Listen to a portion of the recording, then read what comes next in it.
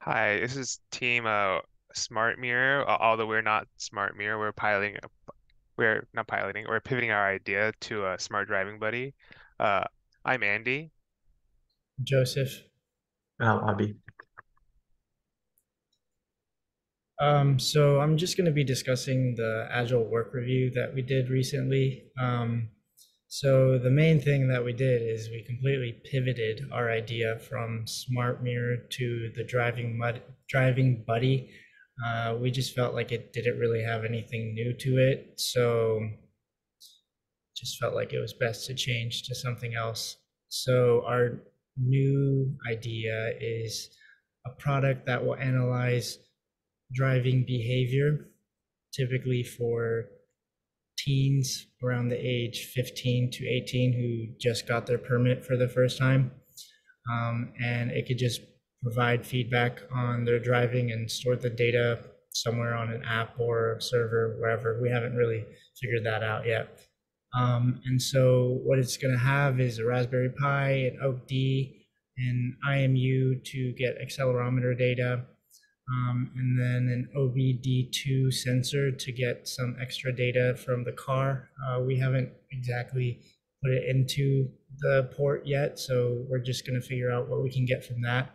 Um, and then we have a GPS to help us with like a Google API. Um, in terms of research, we just have to collect data from the OBD port, um, try to figure out what kind of data is important to have. Um, and then looking into the driving test is another important thing. And then seeing like um, what exactly we want to implement into our product. Uh, and then finally, it's just a matter of hooking everything up and then just getting it working. In terms of customer meetings, we just talk to people like in class and um, the professors and stuff like that. But most people like the idea of having a driver course where we can give somebody some sort of just course that they can take and then they can get a score back. Um, also, we found out that you need someone with you when you have a permit. Um, that was like a slight oversight, but considering that you have people who um, have parents with like a language barrier, um, this could be something to help out and just make it a little bit better for those kind of individuals. Uh, I talked to my mom about it, and she said it would have been useful because we struggled a lot when we were going through the whole permit exam. But um, hopefully, we can create something for people that can alleviate that. Also, people are just kind of concerned on how the score will turn out. We haven't fully figured that out yet, but we're going to go through it and see what's best. Um, honestly, we haven't really done too many meetings because we just changed our idea about a week and a half ago. So we're going to try to get more for sprint two. And for our features to prioritize, so our, our number one uh, priority is to have the Google Maps API working so we can access like all the all the different map data and all the like different speed limits, hazards, best routes, etc. And then so so, so then with that is like kind of like like the main foundation of what our project will be based upon, given that we're, we're gonna have to be able to create th these practice courses. Um, and then we would also ha need to have it driving advice be accurate to how they're driving, and so when you keep analyzing all the data, so we, we just needed we just needed like a lot of like actual raw data to understand all the different values we're going to be getting from the sensors.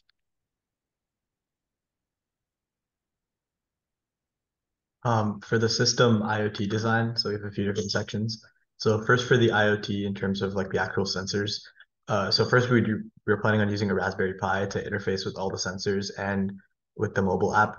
Uh, so the, the Raspberry Pi has plenty of I/O for each of these. So like for example, the IMU can communicate over I squared C, and the OAK-D camera can communicate over USB and stuff like that. Um, so then after that, we have the IMU, which has an accelerometer and a gyroscope on it. And then the OAK-D camera will get image data and also some depth data from that. and then the GPS for more accurate location data so that we don't really have to rely on the phone for that. And then finally the OBD2, which is like the car diagnostic data. So that's the one that we've also researched a lot into because the other ones are more simple to get up and running because there's like a lot of information out there.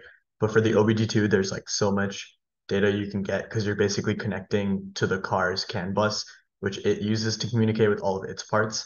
So there's like a lot of libraries out there that you can use to kind of get all the information from the car and it's very detailed.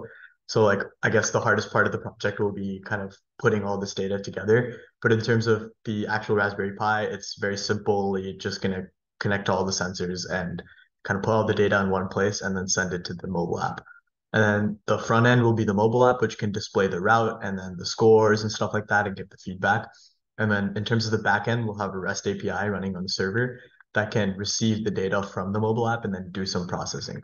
So that way we can do all of our processing in the cloud kind of, and like the server will be more powerful and we can, you know, write it all in Python and, and stuff like that. Um, and then for our sprint two plan, so first we're going to start developing the product and we're going to get the object detection and Google Maps API integration working. Um, in terms of rats, uh, lack of internet connection is one, uh, which is why we decided to add the GPS.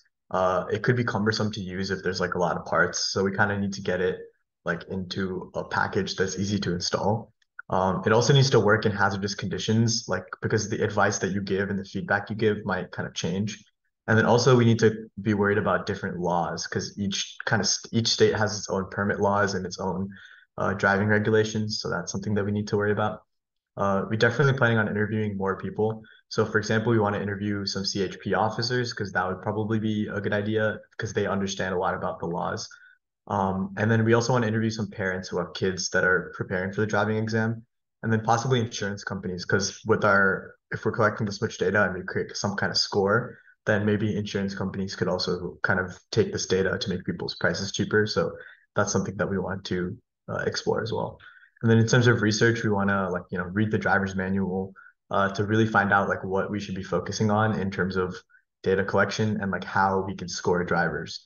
And then we're also going to kind of focus more on connecting all the sensors and getting some like basic code up and running in terms of uh, connecting everything to the Raspberry Pi and then sending it to the server. Uh, so yeah, thank you for listening to our Kumi. Thank you.